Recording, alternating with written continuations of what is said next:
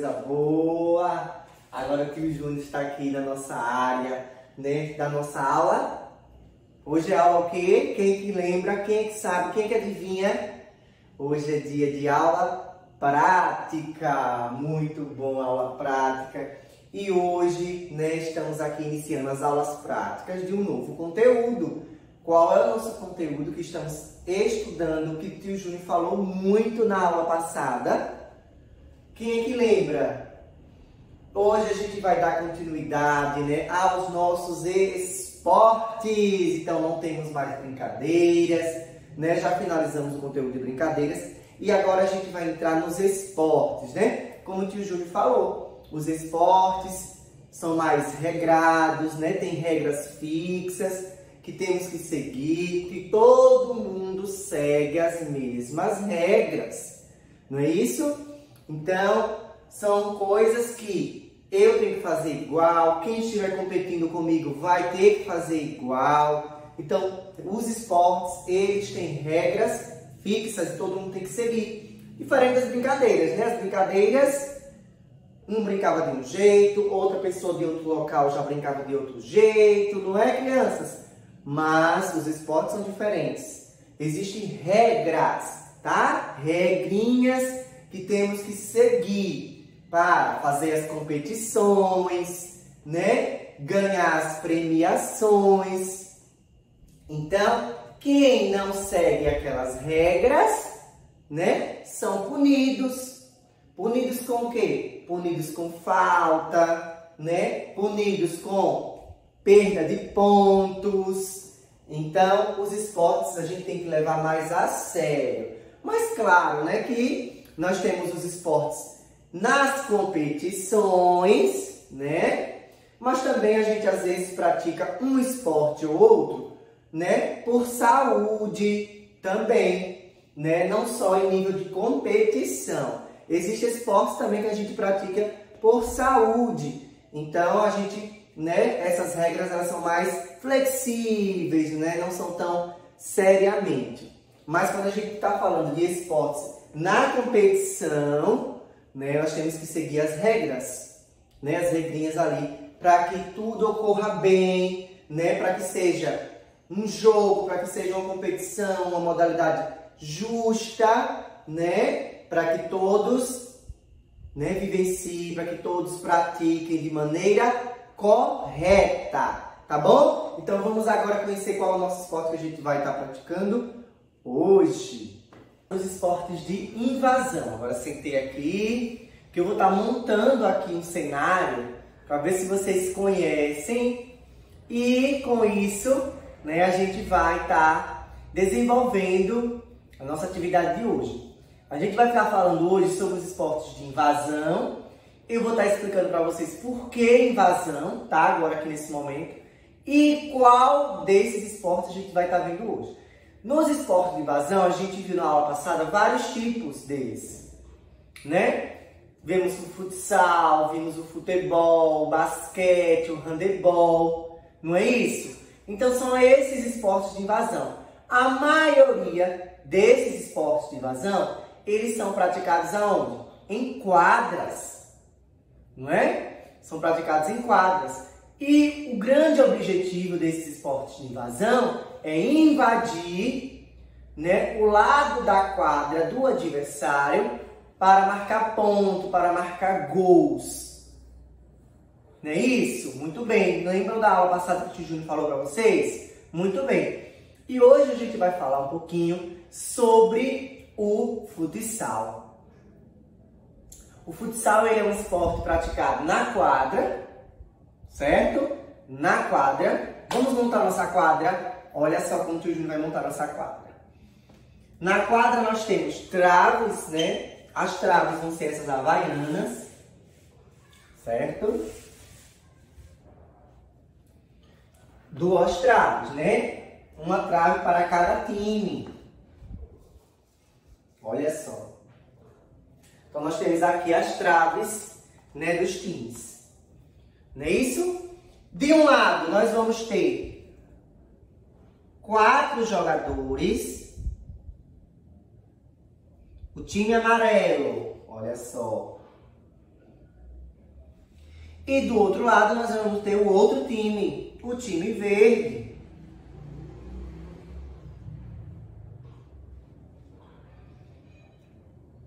O goleiro do time verde, do time amarelo e o goleiro do time verde.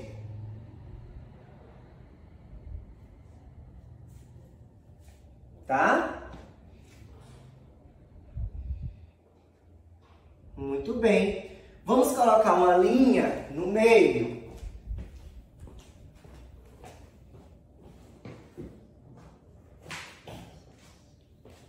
Consegui aqui uma linha.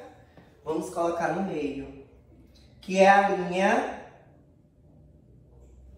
que vai estar dividindo, né, os dois times.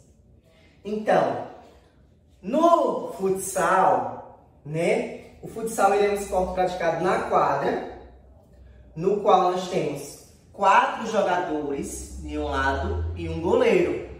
Então, são quatro jogadores e um goleiro em cada time.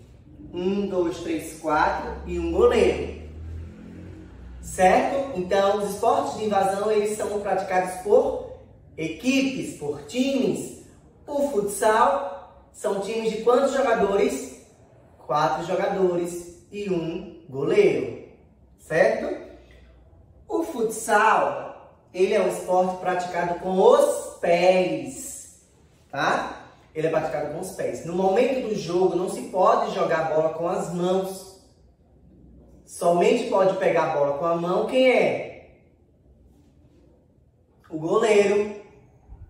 Né? Somente o goleiro pode pegar a bola com as mãos. Tá bom? Então, o futsal ele é um pouco parecido com o futebol, tá? Porém, por quê? O futsal ele é praticado em quadra. O futebol é praticado em campo de grama e a quantidade de jogadores também são diferentes. Né? No futsal, são quantos jogadores? Mais uma vez, quatro jogadores e um goleiro. Qual é o objetivo do jogo, dos, dos jogos de invasão, dos esportes de invasão? Qual é o objetivo do jogo do futsal? Essa equipe que está de verde tem que fazer gol naquela trave. Ou seja, tem que invadir, né, o lado da quadra do adversário e fazer um gol. E ao mesmo tempo, essa equipe tem que fazer a defesa, não deixar eles fazerem gol. E essa equipe tem que invadir o outro lado e fazer gol.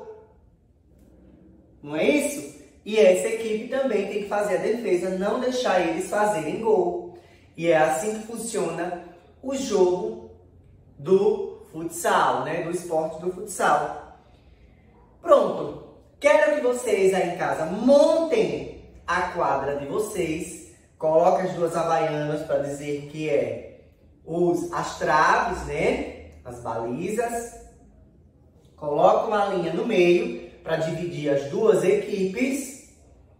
Combinado? E coloca quatro jogadores de um lado, quatro jogadores do outro. Aqui eu usei limões, mas vocês podem usar laranja, maracujá, pedrinhas, bolinhas de papel, certo? Mas faz o máximo de diferente para um, um time ficar diferente do outro. Porque a gente vê, vocês já assistiram um jogo, tanto de futebol, né, de qualquer esporte. Observe que um time sempre vai ter a, a cor da roupa, do fardamento, do uniforme diferente. Então aqui também eu coloquei diferente, coloquei um time amarelo um time verde, para diferenciar os times. Tá? Então na nossa atividade de futsal, depois da quadra pronta, nós iremos fazer uma dinâmica. Vou tirar os goleiros, eles não vão participar, tá? E qual será o nosso objetivo? Aqui é como se fosse um futsal de botão. Claro que sabemos que no futsal a bola é passada com os pés, tá? Mas aqui é apenas uma brincadeira, uma adaptação. Então, o que a gente vai fazer?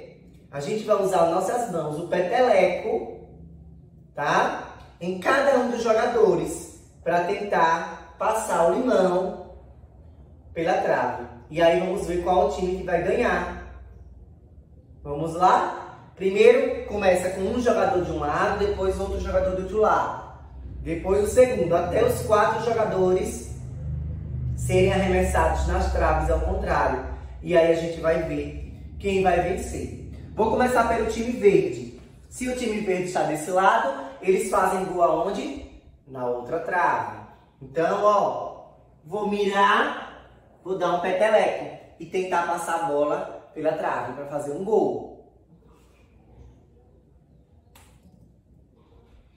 Gol do time verde. Vamos lá. 1 a 0. Vamos agora para o time amarelo. E começa o jogo.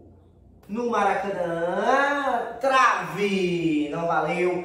Agora o time verde. Então tá 1 a 0 para o time verde, né? Vamos lá. Qual o jogador agora? Pá. E fora. Tá 1 a 0. Vamos agora para o time amarelo. Bora fazer com o time amarelo e fora! E o time verde continua ganhando. 1 a 0. Vamos lá? Gol do time verde. 2 a 0 pro time verde. Quem tá torcendo aí pro time amarelo ou pro verde? Hein? Vamos agora pro time amarelo. E eles querem empatar. Trave de novo, trave de novo. Os dois foi trave. E agora o time verde está na frente. Ah, trave foi fora, mas está 2 a 0. E vamos lá, time amarelo, ainda dá tempo de fazer um gol. Gol do time amarelo. Fim do jogo. Fim do jogo. E quem vence é o time verde. Tá bom, meus amores? Então, ó, espero que vocês tenham entendido, né, a pequena explicação que te deu de como funciona a prática do futsal, né? E façam isso aí, que é muito legal, viu? E o melhor ainda, se tiver um irmãozinho, alguém que mora com vocês em casa, para um disputar com o outro, fica melhor ainda, tá bom? Um beijo e até a nossa próxima aula. Fé em Deus. Tchau, tchau. É, time verde ganhou. Time verde ganhou, time verde ganhou. Tchau, tchau.